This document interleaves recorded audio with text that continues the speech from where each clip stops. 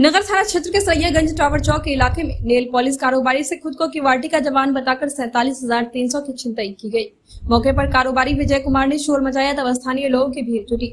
मगर बदमाश भाग निकले। सूचना मिलने पर नगर थाना की पुलिस मौके पर पहुंचकर छानबीन की।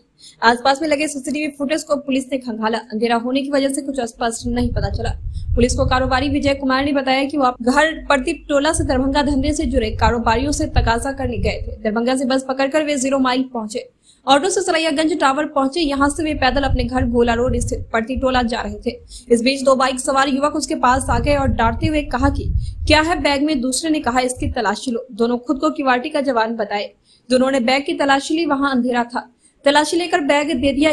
इसके बाद बैग देखा तो बैग में रुपया नहीं था। पुलिस पीड़ित कारोबारी को अपने साथ लेकर मामले की छानबीन कर रही है। नगर थाना अध्यक्ष अनिल कुमार सिंह ने बताया कि मामले की छानबीन की जा रही है। टावर से सीधे। हम्म। वहाँ तक हम चले गए। तो आदमी बोला क्या? हम्म।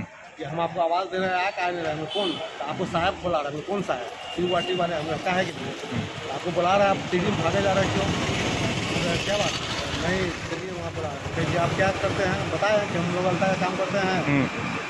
आपके बैग में क्या है? हम कुछ नहीं। तो सही सही बोलो। हम लोग व्यापारी हैं सामान वामान अल्टा अल्टा बेचते हैं। हम्म। तकादा करके आ रहे हैं। दिखाओ बैग चेक करा तो बैग चेक करा दिए। कहाँ पे उसका बाइक कहाँ लगा हुआ? बाइक अच्छा। हम्म। इस जगह पे बाइक लगाया हुआ था हाँ, एगो इधर तक खड़ा।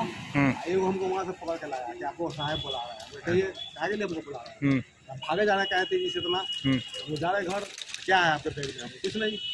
तो क्या काम करते हैं? हम लोग व्यापारी है हम्म। आ रहे हैं बाहर से तगादा करते हैं। कहाँ से? हम घर की दरभंगा से आ रहे हैं। हम्म। समझे?